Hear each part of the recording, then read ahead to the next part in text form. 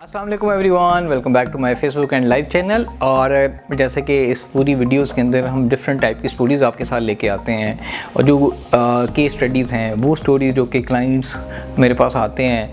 और बहुत तरह की प्रॉब्लम्स आती हैं लोगों को। क्लाइंट सफ़र कर रहे होते हैं, जो मैं स्टूडेंट को लम्स में टीच कर रहा होता हूँ and they wants case studies उससे ये होता है कि काफ़ी लोग बेहतर तरीके से चीज़ें समझ आते हैं। आज आपसे एक बड़ी इंटरेस्टिंग एक अपनी स्टोरी लेके आऊँगा, और आज का टॉपिक जो है क्रेविंग्स के ऊपर है। बहुत सारे लोग जानना चाहते हैं कि मुदसर क्रेविंग्स क्या होती हैं, कहाँ से आती हैं, ऊपर से नाजल होती हैं। समटाइम्स आपने देखा होगा कि आपको एकदम अचानक दौड़ा पड़ता है और आप भागते हैं कि आज तो यही खाना है। कुछ लोगों को क्रेविंग्स मुख्तलिफ़ किस्म की होती है। कुछ लोगों को क्रेविंग्स होती हैं मीठा खाने की और मीठा तो फिर वो कहते हैं बस छोड़ना ही नहीं है। और वो फिर स्टमक कहता है, बस। लेकिन दिमाग कहता है, दिल, जो दिमाग और दिल वो कहता है, खाए जाओ खाए जाओ। कुछ लोगों को सॉल्ट की क्रेविंग होती है, कुछ लोगों को चिप्स की क्रेविंग होती है, कुछ लोगों को बैक बाइटिंग की क्रेविंग होती है जो कि स्पेशली फीमेल्स को। कुछ लोग ऐसे होते हैं जो कि दूसरे का सर बहुत ज़्यादा खा रहे होते हैं। कुछ लोगों को पॉलिटिकल ओपिनियंस की बहुत ज़्यादा क्रेविंग हो रही होती है। आपने बहुत सारे मर्दों को देखा होगा मेल्स जो है जब आप बैठते हैं तो सियासी गुफ्तु करते हैं। उनको क्रेविंग्स हो रही होती है अंदर से, क्योंकि न्यूज़ और मीडिया पे इंफॉर्मेशन देखी होती है, वो कहते हैं, बस हमें बताना है। तो मुख्तलिफ़ तरह की क्रेविंग्स होती हैं।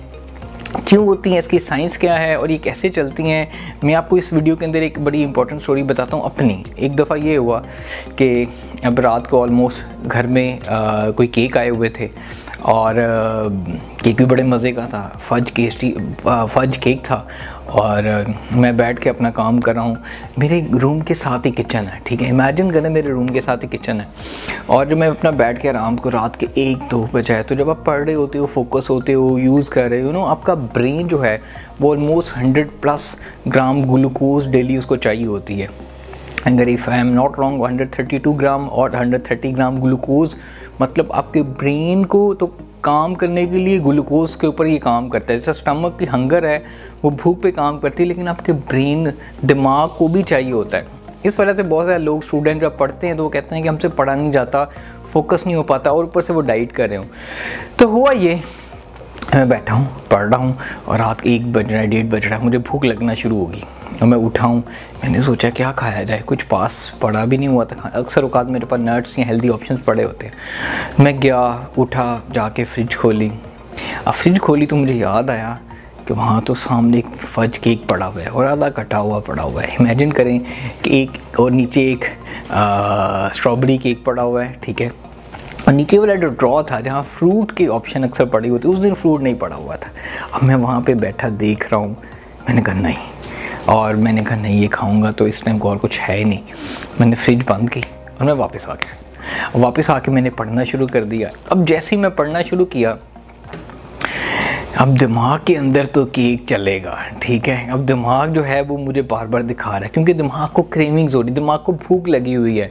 बॉडी को सम न्यूट्रिएंट्स चाहिए। ऊपर से आप थके हुए होते हो, आप पढ़ना चाह रहे होते हो, और थोड़ा सा आपके दिमाग में फीलिंग या कोई स्ट्रेस वाली फीलिंग्स भी चल रही है तो मेरा दिमाग जो मुझे केक जो है ना फ्रिज से उठा के बार बार आगे लेके आ रहा है। बहुत सारे लोग मुझे क्वेश्चन पूछते हैं कि सर हम बैठे हुए थे, पता नहीं हमने कैसे खा लिया? पता नहीं हमने चिप्स कैसे खा ली? पता नहीं हमने कुकीज़ जो है, पता नहीं चॉकलेट्स हमने कैसे ही खा ली। कभी भी चॉकलेट और कुकीज़ या मीठा या सॉफ्ट ड्रिंक्स जो क्रेविंग्स वाले फ़ूड होते हैं, वो चल के नहीं आपके पास आते। जिस मैं बैठा हुआ था तो मैं, मेरा दिल कर रहा था कि केक जो है ना, वो दिमाग मुझे दिखा रहा था, क्योंकि उसने देख लिया था। अब लिटरली मेरे कोई आधा पौना घंटा मैंने वेट किया। फिर मैं उठा और फिर मैंने अपने किचन के दरवाज़ा खोला। किचन का दरवाज़ा खोल के फिर फ्रिज का दरवाज़ा खोला और फ्रिज का दरवाज़ा खोला और वो सारा केक था। मैंने डाला, पहले एक स्लाइस लेके गया। फिर जो अच्छा फील हुआ, जो आपको पता है, जो आप फज के खाते हैं चॉकलेट मूज़ और उसके बाद जो फीलिंग आती है, फिर आप कंट्रोल नहीं करते। फिर पंद्रह मिनट के बाद मुझे केक की बात करते हुए मेरे मुँह में अभी भी पानी आ रहा है। आई होप कि बहुत सारे लोग ये वीडियो देखते हुए भी उनके मुँह में अंदर पानी आ रहा होगा। तो इमेजिन करें रात के दो बज रहे हैं, एक स्लाइस ले लिया, फिर दूसरा स्लाइस पंद्रह मिनट के बाद, और फिर इमेजिन करें फिर तीसरा स्लाइस मैंने खा लिया। एंड आई फील मेरा दिल कर रहा था, केक मैंने ख़त्म कर दिया एक केक। उसके बाद मैं बैठ के गिल्टी हो रहा हूँ, सोच रहा हूँ, यार, ये मैंने क्या कर दिया? आपके साथ ये फीलिंग हुई होगी। आपने सम टाइम खाने खाए होंगे क्रेविंग्स हो रही होती हैं, आप फिर थोड़ा सा खाते हैं डल्ज होते हो इमोशनल होते हो, फिर खाए जाते हो, खाए जाते हो, फिर रुकते नहीं हो। फिर आपका जो हाथ है, वो नहीं रुकते। दिल कहता है, बस और और। स्टमक कहता है, बस। तो एक जंग चल रही होती है। तो कभी भी याद रखें, खाने आपके पास चल के नहीं आते। आपका ब्रेन आपको वो फैंटेसीज दिखाता है और सम टाइम आप स्क्रोल कर रहे होते हो different food groups Foodpanda apps वहाँ पे आपको मज़े मज़े की चीज़ें नज़र आती फिर आपको दिल होता है, आपका ब्रेन कहता है, बस आज यही खाना है। तो ये क्रेविंग्स किस तरह की इस तरीके से क्रेविंग्स आती मैंने वो खा लिया। जब वो खाया, मैं बैठा हुआ था। अब मैं आपको बताता हूँ कि यहाँ पे टाइप्स ऑफ़ क्रेविंग्स क्या हैं और उसको रिप्लेस कैसे किया जा सकता है। अक्सर अवकात ये होता है कि जब भी हमेशा मैं अपने पास फ्रूट्स नट्स रखता हूँ तो मेरी थोड़ी सी एक डेवलप है, एक स्किल डेवलप है कि अगर नीचे फ्रूट पड़ा होता तो मैं उस दिन फ्रूट पकड़ के खा लेता, लेकिन उस दिन फ्रूट नहीं पड़ा हुआ था। उस दिन सिर्फ़ खाली केक पड़ा हुआ था और सैलड ऑफ़ वेजिटेबल वो तो अब रात को कौन खाता है? तो हुआ ये, ठीक है, जब अगर फ्रूट पड़ा हो तो मैं फ्रूट खा लेता हूँ। इसी तरीके से अगर क्रेविंग्स आपको हो रही हो तो उसको रिप्लेस किया जाता है। लेकिन जब आपको बहुत शदीद भूख लगी हो तो फिर आपको रिप्लेस नहीं। फिर दिमाग कहता है, बस, अब चल के खाना है। तो तीन तरह की क्रेविंग्स होती हैं। जो कि नॉर्मली आप हो तो उस एक सिचुएशन के मुताबिक आप उसको कैसे हैंडल कर सकते हैं? एक फ़र्स्ट टाइप की जो क्रेविंग सबसे पहली है, उसको हम कहते हैं माइल्ड क्रेविंग मतलब आपके दिमाग में थोड़ा सा खाने का दिल किया या खाने के बाद हल्का सा मीठा खाने का दिल किया और आपके सामने मीठा आ गया तो आपने खा लिया, ना आया तो नहीं खाया। या आपने वहाँ से उठे वॉक की, बाहर चले गए, कुछ करने लगे, वो ख्याल दिमाग से झटक गया। उसको कहते हैं माइल्ड क्रेविंग बड़ी थोड़ा सा एक ख्याल आता है। दूसरे टाइप की क्रेमिंग होती है, उसको हम कहते हैं मॉडरेट क्रेमिंग जो मॉडरेट क्रेविंग्स होती हैं, उसको आप रिप्लेस कर सकते हो किसी हेल्दी फ़ूड के साथ. कैसे? मॉडरेट क्रेविंग्स होती हैं, जैसे आपका दिल करे सॉफ्ट ड्रिंक पीने का, लेकिन आप फ्रेश जूस पी लेते हो. सम टाइम आपका, क्योंकि बॉडी आप डिहाइड्रेटेड हो, आपने पानी सारा दिन नहीं पिया तो आपका दिल करेगा कि कुछ ना कुछ शुगरी और लिक्विड आपकी बॉडी के अंदर जाए. बॉडी क्रेमिंग कर रही होती है. हम वो खाते हो पीते हो, उसकी जगह आप पानी पी लो तीन, दो तीन ग्लास तो आपकी वो ख़त्म हो जाएगी। या फ्रेश जूस पी लो। अगर आपका दिल कर रहा है कोई क्रंची खाने को, कोई फ्राइज़ खाने को तो उसकी जगह आप स्वीट पोटैटो या कोई योगर्ट खा लो। तो हेल्दी ऑप्शन ले लो। तो मॉडरेट क्रेविंग जो है, वो फिर भी रिप्लेस हो सकते हैं। तो अगर आपको मॉडरेट क्रेविंग होती है इस टाइप की, जो कि रिप्लेसेबल है, उसको कर सकते हैं।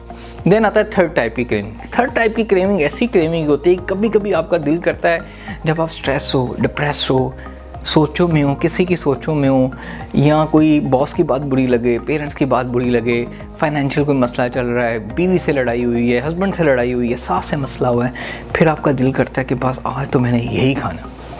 या आपकी दोस्त की आप पिक्चर देखते हो स्नैपचैट देखते हो, उसके इंस्टाग्राम पे देखते हो कि आपकी दोस्तें ये खा रही हैं और आप घर पे बैठ के सोचते हो कि मैं अकेली हूँ, मैं कुछ नहीं खा रही। फिर आपका दिमाग कहता है, बस आज यही खाना है। फिर आप उठते हो बैरिया से और डी आते हो। फिर यहाँ फिर अगर आप डीएचए उठते हो जो होटल चले जाते हो या कुछ लोग दूसरे शहर खाने के लिए चले जाते हैं, उसकी वजह ये है कि बहुत ज़्यादा जो स्वीट क्रेविंग्स होती हैं, वो हमारी एसोसिएटेड होती हैं। इमोशंस के साथ स्ट्रेस के साथ लोनली सैड फीलिंग के साथ। तो ऐसे में क्या करना चाहिए? पहले तो अंडरस्टैंड करें कि क्रेमिंग किस टाइप की हैं number one then number two उसका सोल्यूशन उसके मुताबिक रखें। अगर तो आपको स्वेयर क्रेविंग्स हो रही हैं मतलब आज खाना है तो खाना है, आज ये चाहिए तो चाहिए। तो उसका हल ही है कि आपको किसी भी ऐसा फ़ूड अगर क्रेमिंग क्रंची हो सॉल्टी हो, मीठा हो, वो ले लें। या रेस्टोरेंट चले जाएँ या बाहर चले जाएँ। लेकिन थोड़ा खा लें, ठीक है? खा लें, ठीक है? क्योंकि वो कंट्रोल से बाहर है। उसके साथ पानी तीन चार गिलास पी के, फिर आप वो जाके खा ले। उससे ये होगा कि आप थोड़ा सा कंपैरेटिवली कम खाएँगे। दैट्स इट सो ये तीन टाइप की क्रेविंग्स होती हैं, जिनको आप हैंडल करने का तरीका मैंने बताया। फिर आपकी विल पावर बताई कि विल पावर तब काम आएगी जब आपके पास स्किल्स हों, जब आपके पास ऑल्टरनेटिव ऑप्शंस कम मौजूद हो। तो आई होप इस वीडियो के अंदर बहुत ज़्यादा चीज़ें आपको क्लियर हुई हुई होंगी। क्रेविंग से मामले में क्रेविंग को कैसे किया जा सकता है, इसके पीछे थोड़ी साइंस जो है, वो ब्रेन की और साइकोलॉजी और कुछ हमारे हार्मोन्स होते हैं सेरोटोनिन और डोपामिन हार्मोन्स ठीक है, ये रिलेट होते हैं हमारी सेटिस्फेक्शन के साथ और फील हाई के साथ। ये रिलीज़ होते हैं फ़ूड के साथ, इससे कंप्लीट साइंस हम उसको नेक्स्ट टाइम खोलेंगे। लेकिन इस वीडियो के अंदर बताने का पर्पज़ आपसे यही था कि क्रेविंग अगर हो रही है तो उसको अंडरस्टैंड करें कौन सी हैं, उसको कॉन्शियस लेवल के ऊपर पहले समझ लें और उसको रिपीटडली अगर हो रही हैं तो उसको देखें कि आप रिप्लेस कैसे कर सकते हैं। तो आई होप इस वीडियो के अंदर बहुत सारी चीज़ें आपको क्लियर हो चुकी होंगी। मेरा चैनल सब्सक्राइब करना नहीं भूलिएगा। इस वीडियो को शेयर करना नहीं भूलिएगा और अपना फीडबैक लाजमी दीजिएगा ताकि हम मज़ीद टॉपिक मज़ीद जो चीज़ें हैं, वो आप लोगों से शेयर करें और लेके आएँ। दुआ में बहुत सा ख्याल रखें। टेक केयर अल्लाह हाफिज़।